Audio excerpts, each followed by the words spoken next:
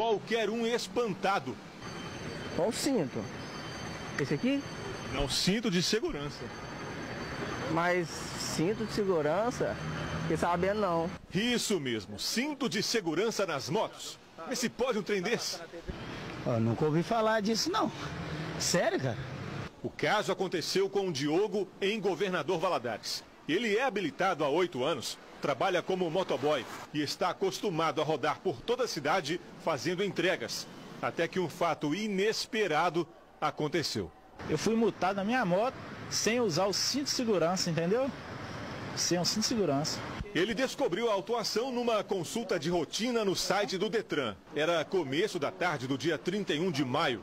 Foi na Avenida Minas Gerais, na Praça Serra Lima. O motivo? Está no documento. Deixar de usar o cinto de segurança.